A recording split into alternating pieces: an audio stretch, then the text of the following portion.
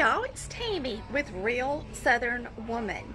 And I have to say, the Cracker Barrel is such a weakness for Southern women. Me and my mom are here today. Let me show you Mama. Say hello, Mom. Hi. And she bought three tops because there's so many beautiful things in here. We just can't resist.